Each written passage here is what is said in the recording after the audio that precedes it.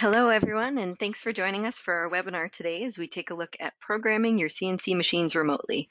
Today, our digital manufacturing gurus, Lindsay Morrison, our Director of Digital Manufacturing, and Kirsten Waters, our Digital Manufacturing Technical Manager, are going to take us through a quick 30-minute session. Uh, but before they kick us off, there are a couple of quick housekeeping items to mention. First, even though we are going to try to keep this brief uh, on this lovely Friday afternoon, we do encourage you to try to type in any questions you may have throughout the webinar. So uh, in the GoToWebinar panel, you will see a question section. So just go ahead and type in your questions there as they come up. If we can't get to them live during the session uh, right now, we will be sure to reach out to you afterwards to get you those answers. We know that, like us, many of our customers are now working remotely for the next little while. So we've been penciling in some additional online training sessions and webinars uh, that you can find in our online calendar on our website. So every Friday morning for the remainder of April, we're offering a complimentary What's New in SolidWorks 2020 session that runs from 9 to 11 a.m. online. So you or anyone in your team can feel free to register for those uh, through your account manager or our online calendar, uh, and we'll provide the link in the email that we'll be sending you guys after today's session.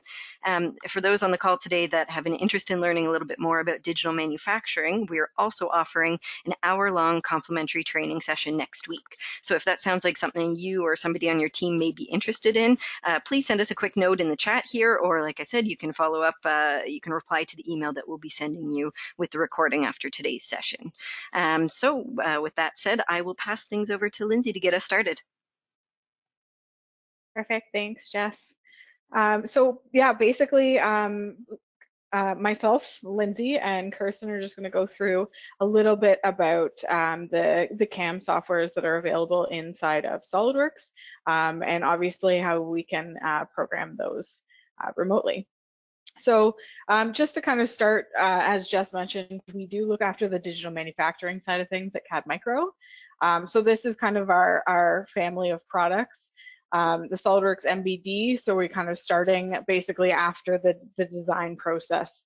Um, so after your design, if you wanted to jump into um, MBD, this would allow us to essentially add in um, any kind of dimensions or tolerancing uh, that we want to add to that that uh, part. So instead of creating a 2D drawing, you're essentially creating that 3D drawing. Um, what we're going to be talking about today in um, more detail will be the SOLIDWORKS CAM and the CAMWorks side of things. Um, so that's in our CAM programming. So basically once we've finished with the MBD and we've got all of that uh, tolerance data, um, we can essentially go ahead and start machining this or programming it for the uh, machines. Uh, we do also have the SWOOD product as well, which I'll talk about in a little bit. Um, and then once we've finished programming this, um, if you are uh, taking that complete part and you are doing any kind of measurement, um, so with maybe a CMM or any kind of scanner, uh, that would be where we get into the SOLIDWORKS inspection or the GOM um, products. So um, at the very end of the, the webinar here, uh, if you do again have any questions about any of these other products, please let us know um, and we can obviously set you up with some, some more information on those. Um, so like I said, again, today we're gonna be covering the SOLIDWORKS CAM and CAMWorks. Um, so these are our main CAM products uh, that we carry at CAD Micro or that we um, provide support for um, and training. So basically with these CAM products, um, CAMWorks basically started uh, this CAM software alongside with uh, alongside SolidWorks. Um, and basically what happened in 2018 was SolidWorks CAM uh, was created from CAMWorks. So SolidWorks wanted the CAM software inside of their uh, product suite. Um, so they purchased essentially the, the two and a half axis uh, portion of the CAM software. Um, so that's essentially what is um, included inside of SOLIDWORKS now if you are on subscription and you have a version later than 2018. Um, so what this software is, is you can kind of see it's a seamless integration with SOLIDWORKS. So um, we will look at the, the design tree here. So this obviously would look familiar to you if you are a SOLIDWORKS user. Um, but we've got three new tabs on the end here, which are the CAM tabs. Um, so fully operational and fully integrated inside of SOLIDWORKS. Um, and it's just a couple new tabs inside of your design tree and a new tab inside the um, command manager. Um, automatic feature recognition is one of our biggest selling features for the uh, CAM product. So basically what this does is it's very similar to the feature recognition inside of SolidWorks. Um, it will, instead of building your um, history tree or your design tree, uh, this is going to find all of the machinable features on that part. Um, we also have uh, included what's called knowledge-based machining. And again, Kirsten's gonna go over uh, a demo of, of how this all works. Uh, but what knowledge-based machining allows us to do is essentially save our, our best practices, our machining best practices back into the software. So what we can do is essentially say, okay, um, if I'm going to be machining in aluminum, I want to machine with a rough and a finish toolpath. Um, these are all the settings within those toolpaths that I want to save. Um, but if I'm machining in steel, I want a totally different set of uh, tool paths that I want to use. So um, you can actually save both of those sets of strategies back into the software. And when it recognizes those features in that specific material with whichever tool you've chosen, um, it's actually just going to bring that automatically up. So it's a machining strategy we can save into the software. Um, so you're teaching the software how you like to machine essentially. Um, we also have a high-speed roughing toolpath uh, called Volumill. Um, so you may have heard of this toolpath. This is in uh, quite a few different CAM softwares out there, uh, but a really great option um, or a great addition to our software. Uh, we have tolerance-based machining. I was talking about the uh, SolidWorks MBD um, previously. So basically what tolerance-based machining does um, is it reads the information, the tolerance information from your parts or the GD&T from your parts, um, and it will actually allow you to apply different strategies based on the tolerance. Uh, so this is a really neat um, offering that they've included inside of SolidWorks CAM and CamWorks. Um, and we are actually the only CAM software out there that is able to do this. So that's a really great feature that we've added to the, the software. Um, we also have the ability to do assembly machining. So um, not only can we just create uh, CAM programs on a part file, we can also create this on assembly features. Um, so what this allows you to do is we can download maybe the table of your machine or any of the um, fixtures or the vise or something like that um, from the actual manufacturer and you can bring that right into your assembly file, place your part in there and then program that part from um, the actual assembly. So this allows us to actually treat um, your clamps or your vise or whatever the work holding piece is um, as a fixture and we can avoid that area um, or make sure that we don't hit it with the tool pass. So the simulation would show that as well. Um, so the software is also fully customizable. So you can kind of see in the picture here, um, this is just the lead in, lead out settings on a contour tool path. Um, we can go right into the tool paths and obviously fully customize them.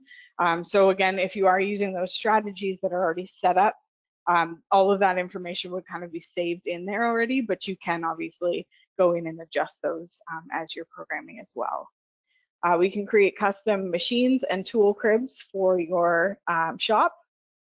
Uh, we can adjust set settings such as the feeds and speeds, uh, machining patterns, your lead and moves, um, entry motions, all of that information can be set up. Um, and post-process to communications and editing software. So um, the software actually comes with uh, an NC editor. So once you've posted your code, you can actually open up your G code into an NC editor, uh, be able to adjust the code if you need to, or just view it. Um, and there is actually a backplot option in there as well to, to view the actual G code uh, being simulated. Um, so this is basically the, the package suite that we have for both SOLIDWORKS CAM and CAMWORKS. Uh, so in the red here, these are our SOLIDWORKS CAM features. Uh, SOLIDWORKS CAM standard is included with your subscription of uh, SolidWorks. So any version of SolidWorks, uh, SolidWorks CAM standard is included. The SolidWorks CAM Professional is um, a purchase product, uh, but this is again still a SolidWorks CAM feature. Uh, and this is where you would get into the assembly machining, uh, four and five axis indexing, two and a half axis VoluMill, so that high speed roughing tool path, as well as turning. Um, where you're going to get into the CamWorks is more if you're getting into the three axis, full three axis cutting.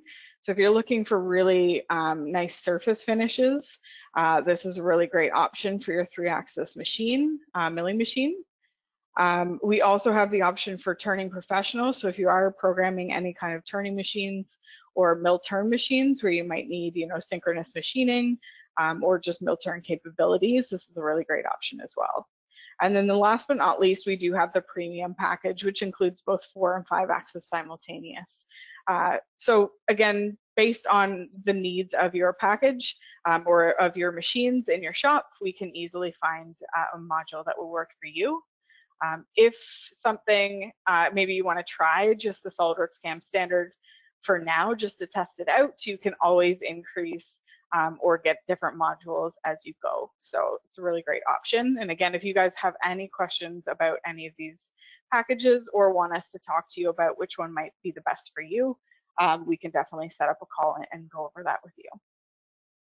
Um, CamWorks also does create uh, nesting programs. So this is called Nesting Works.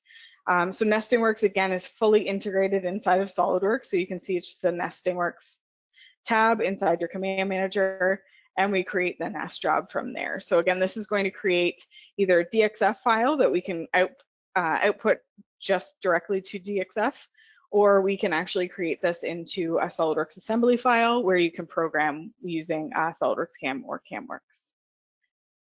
The last but not least, um, we do have the uh, software called SWOOD. Um, so basically what this is um, is a, a, woodworking software.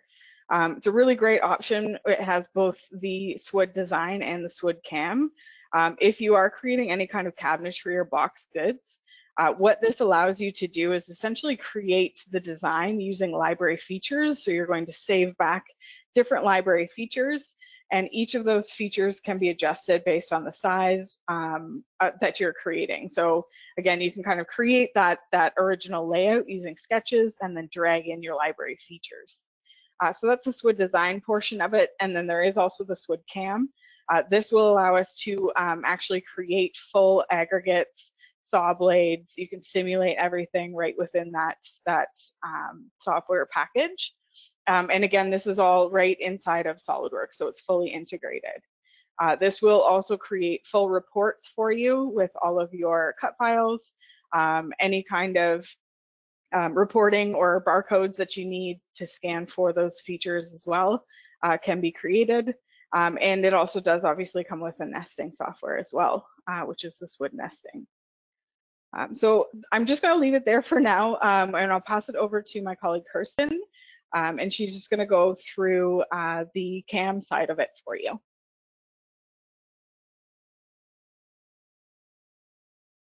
Thank you, Lindsay, and uh, good afternoon, everyone. Thanks for joining us today. Um, I'm going to be showing you how you can quickly and efficiently program a part using either CamWorks or SolidWorks CAM, all while staying inside the SolidWorks environment.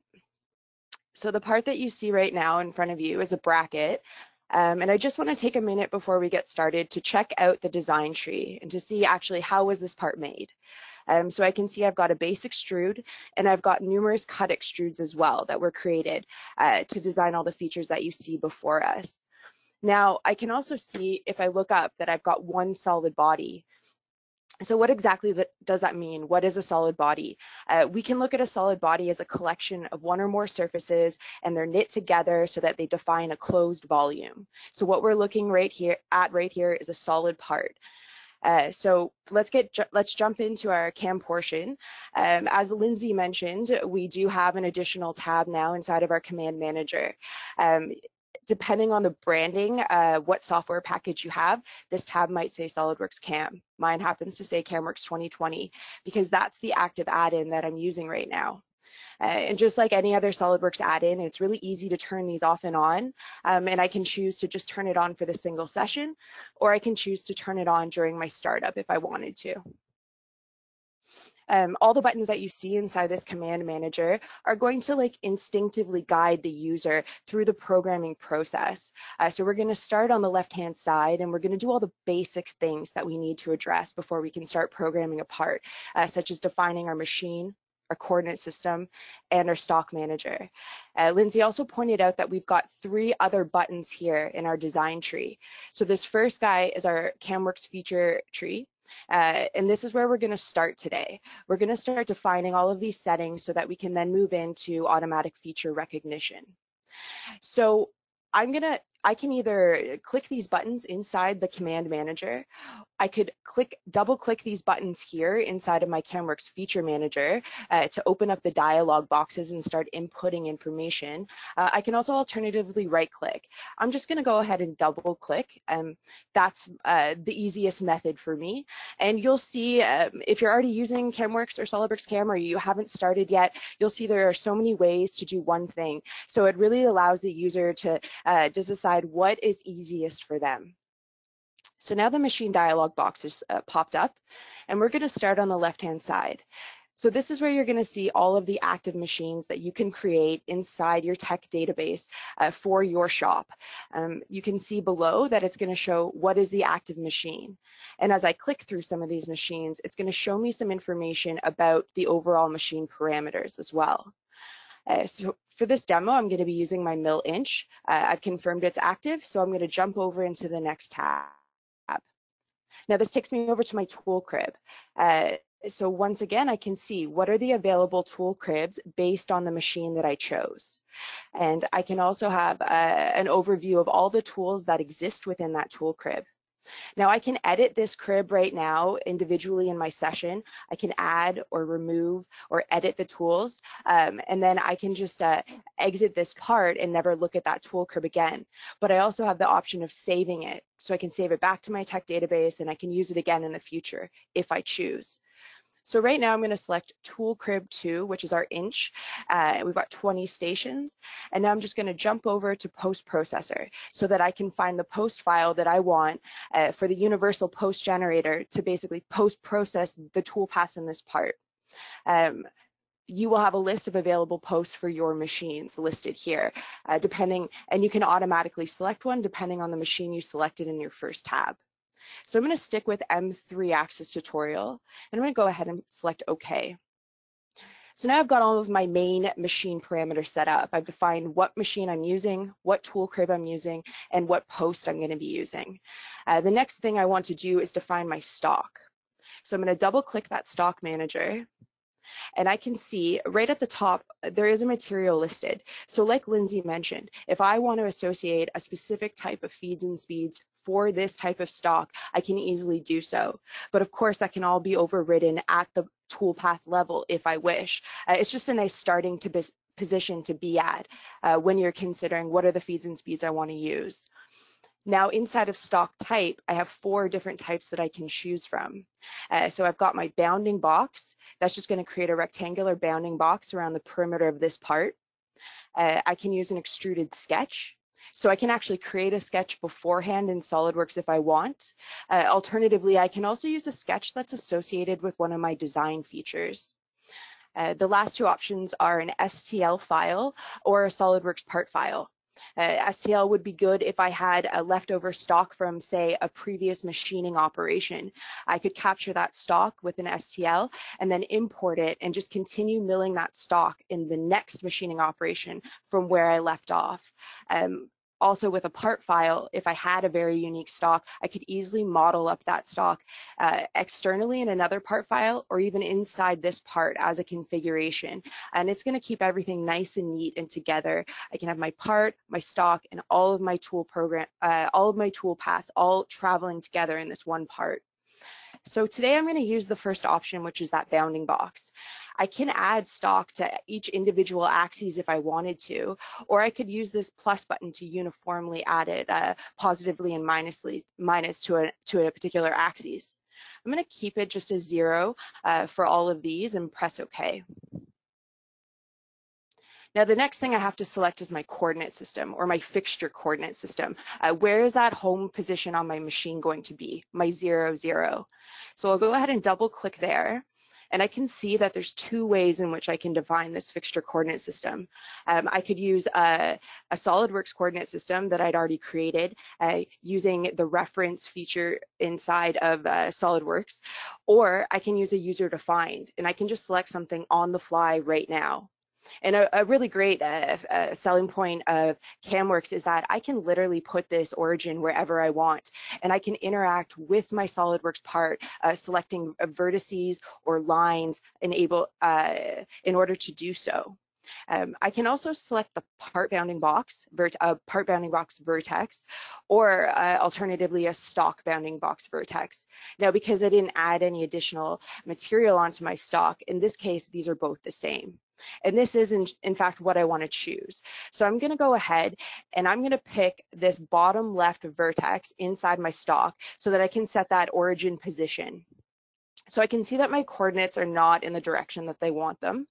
Uh, so I'm going to start by defining uh, Z first, as that's typically the easiest to do. So I'm just going to click inside this Z box, and I'm going to select my top face I can see that it's already flipped direction and I'm happy with that direction. So I'm going to leave it. Uh, and this is an, a Cartesian coordinate system. So I actually only have to select two axes and that third one is going to be automatically defined. Uh, so next I'm going to choose my X. So I'm going to hop over, click this box here, and I want to select uh, one of the lines inside this part. So I'm going to select that line there but I'm not happy with my X direction. So I'm just gonna hit this reverse button here and I'm gonna flip it. Now I can see that X, Y, and Z are exactly how I want them oriented, and I'm ready to actually start programming this part. I'm gonna go ahead and click OK. So as a programmer, what would I do next? Well, if I'm using traditional CAM software, chances are I'm going to have to start making some considerations about this part. Like, I want to know uh, what is the overall length and width of this part? That's going to determine what kind of cutter I'm going to use for the outside contour. Uh, also, depth matters. Um, what are the dimensions of these holes? Can I use these as drilling operations? Are they blind or are they through? Uh, what size drill bit would I have to use and how long would it have to be to be able to clear these these holes. Um, also this pocket, uh, what are the what are the rads on these corners? Uh, do I want to start with a bigger bit and then maybe go in with a smaller bit? Because as you can see, it's a, a very irregular. But the great thing about CamWorks is I don't actually have to make these considerations. I can go ahead and I can click this button up here, extract machinable features. That's going to initiate the automatic feature recognition. And basically CamWorks is going to go into my uh, design tree. It's going to examine all of these different design features it's going to pull that information that I use to create those features, and it's going to consider that information and apply automatically an operation or multiple operations, and it's going to select the tools I'm going to need for these operations too. So I'm going to go ahead and press that extract machinable features button now. Okay, so I can see that uh, I'm still in my CamWorks feature tree and all of these blue operations have shown up. Uh, beside them in brackets, I can see what we call a strategy. A strategy is essentially a sequence of machining operations. So it's found this perimeter boss and it's determined it wants to use a finish strategy, which is essentially one toolpath and that would be a contour toolpath. Uh, for for circular pocket, it's found a rough, rough rest finish strategy. So in this case, when I go to generate these operation plans, I'm actually gonna have three operations created for this one circular pocket. Uh, an initial rough, a rough rest to to clean up any material that was left behind, and then that finish contour. And of course, before I generate these operations, I can easily adjust any of the strategies if they're not what I'm looking for. Uh, so I'll go ahead and I'm just going to leave everything as is. Uh, oh, and one other thing I did want to point out to you guys is it found my mill part setups as well. So it knows that I have features on the top of this part. This is the machining direction in which I'm going to uh, uh, mill these features. But it also found a mill part setup too. So it found this bottom feature, which I might not have even known was there had I not uh, properly rotated this part around. So it's a nice, uh, it's a nice bonus to be able to right away see how many different setups am I going to need before I can machine this part. So I'm going to click Generate Operation Plan. Now, all those uh, strategies are now turned into operations, and it's automatically jumped over to the operation tree to show me that. Uh, I can see here that uh, I have two contours that have been added based on my second mill part setup. I don't actually want one of those, so I'm going to go ahead and I'm just going to delete it because I'm already milling out the perimeter when I do the first mill setup. That's going to jump right into the recycling bin and it'll just stay there. So if I want to restore it at any time, I can. Uh, next, I'm going to generate toolpaths. I'm going to click this button. And now I can see all of the toolpaths, almost all of the toolpaths have turned black. Uh, I can hover over them and I can see the individual toolpaths associated. But what about these blue guys here? Uh, I'm going to right click them and I'm going to find out what's wrong. Unable to compute safe lead in or lead out move. Disable gouge check and define lead in or lead out manually. Okay, so I'm going to double click this contour mill. Basically, uh, the lead in that has been assigned uh, just based on the operation parameters that are defaulted, uh, it doesn't have actually enough room to, to safely create this lead in without gouging the part. So I'll just jump to the lead in tab really quickly. I can see my lead in amount is based on a percentage, but I'm just gonna change that to 0.1 inches. I'm gonna go ahead and click OK. I'll double click the other contour mill and I'll just do the same as well. And hopefully that's gonna clear that error and I'm gonna be able to generate all of these toolpaths. Now I'll just right click that, generate toolpath, and right click, generate toolpath. Uh, so now I'm actually, I've got all of them. Uh, I can see the toolpath indicated with blue and uh, the start of that toolpath indicated with red. So I'm going to simulate these for you guys now, but before I do that, I just want to do a quick sorting operation because uh, the way in which they're listed here is not how I would want to machine these.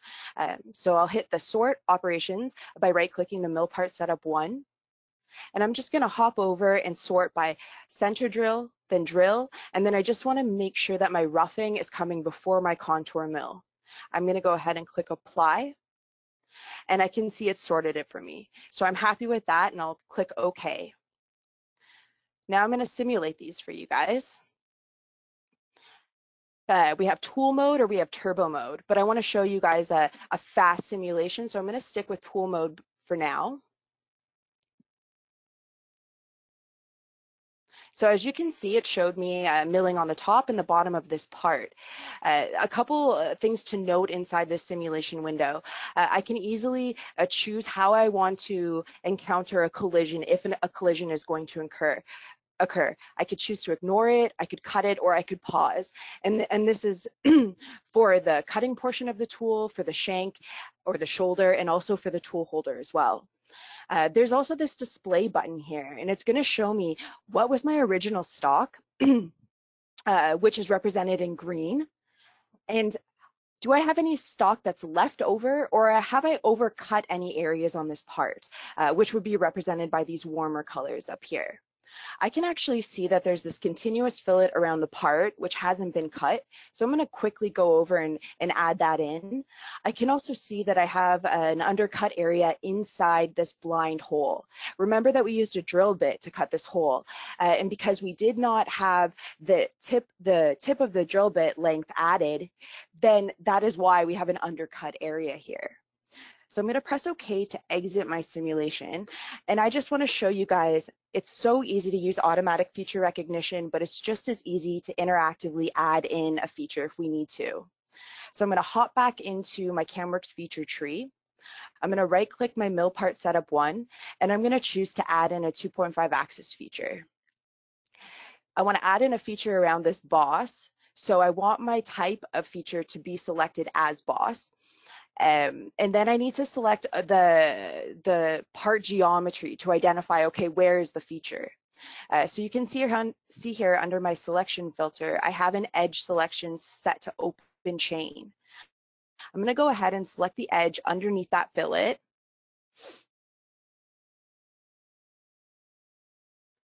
Sorry, I actually want that to be uh, convert to loop. So I'll go ahead and select that edge. It's going to convert it to a loop. And then I can go and click end condition to set how deep is this feature. Well, the feature ends at the top surface. So I'll go ahead and select that top surface to define the portion of it. Uh, it selected a finish strategy, which is fine with me. I'm going to go ahead and click OK. Now I've got that new feature. I can right click that feature and just add a 2.5 axis mill operation. Uh, in this case, my only option is a contour mill. Now I want to use a, co a corner round uh, to mill that fillet, but I don't see a corner round in here.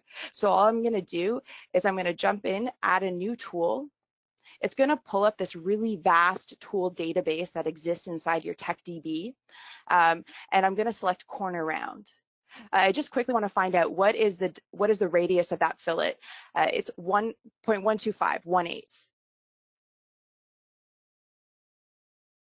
So I'm going to go ahead and I'm going to select a corner round uh, with an eighth inch radius and press OK. so I have my feature defined, that irregular boss one. I've got my tool. And now I'm going to check, yes, I want to use my TechDB defaults uh, to pick an operation plan. I don't want to edit the operation on creation. I just want to create it. So I'll go ahead and click OK. And then I'm going to right click and I'm going to generate that toolpath. Uh, before I simulate this for you guys again, I just want to go in here and I want to add that, that drill bit tool length. So I'm going to find out which, which path, which tool path do I want to edit. Uh, looks like I want to edit drill one, so I'll just double click drill one.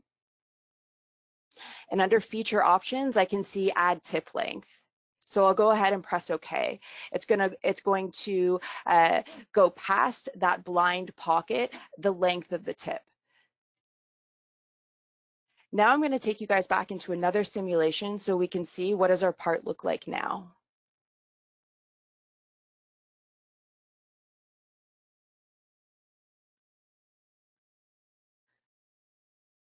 And I'll show, uh, I'll select show difference. And things are looking pretty good, just as expected, because that tooltip was not modeled into that blind pocket or blind hole, uh, it's gonna show as overcut but that's okay. It's what I expected and it's what I want. I can see that the bottom of my part is finished as well. So now I can go ahead and I can uh, post-process the, these toolpaths and get this sent to my machine. So for now, I'm just going to post-process the mill part setup one. I'm going to right-click, select post-process. Uh, this is going to allow us, first we're going to select where do we want to save this file. So I'll just save that to my desktop. And now underneath options, you can see that there's this little drop down and I can choose to open this G code in, inside the CAMWorks NC editor. So you guys heard Lindsay make reference to that before. Now I'm going to go and I'm going to fast post process this using the universal post generator that comes free with your software. And I can go ahead and click OK. And now it's going to open up inside of the CAMWorks NC editor. Uh, here I'm going to be given a lot of basic and more complex functions as well. I can do things like uh, jump to the next tool change or jump to the previous. Um, inside NC functions, I can do renumbering, advanced renumbering. Um, I can also adjust my feed rates and my spindle speed.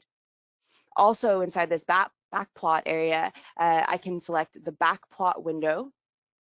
That's going to open up and I'm going to be able to to ensure that I have NC verification before this part before this file ever hits the machine. I want to backplot it and make sure I know all the machine moves that are going to happen and I'm going to be in control of how this program is run. Okay, uh, so basically, in a nutshell, that's it from start to finish. Uh, CAMWorks is going to pull that same information that we use to create our features, and it's going to apply machining features to it with associated operations. Uh, it's going to save us a lot of time because we are not going to be uh, wasting time with repetitive programming tasks that uh, are really going to like bog us down, especially if we're working from home. We want that extra time to be able to check in on our machines, uh, check in on our operators, and make sure that everything's running smoothly, and not spend so much time having to just program program repetitive, repetitively. Um, so yeah, that was my uh, demonstration. Thank you guys so much for watching. Awesome. That was wonderful. Thank you so much, Kirsten and Lindsay. Um, everyone, thanks so much for joining us today. Please keep in mind that Lindsay and Kirsten are offering a complimentary one hour online training session on digital manufacturing next week. Uh, if you haven't already put your hand up in the chat box uh, for the details, you can feel free to respond to the email that we'll be sending you a little bit later with today's recording, and we can take it from there. We'll also include in that email a link to our other online uh, uh sessions that we have coming up through our website calendar so you can check out what we have going on through the month of April. Once again, thank you everyone for joining us today. Thanks, Kristen. Thanks, Lindsay. Uh, we hope you all enjoy the rest of your Friday afternoon and have a great weekend. Thanks. Bye.